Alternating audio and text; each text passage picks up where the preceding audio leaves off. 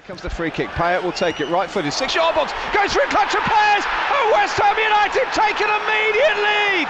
The travelling fans away to our right hand side are up in their arms. And Sakho with a header from the swept in free kick. Is the cry now as Pogba has possession. He chips it in towards Zlatan. A header and an equaliser. Simplistic stuff. Pogba with the flick and Zlatan Ibrahimovic yet again converts another goal. Darren Randolph caught between two minds.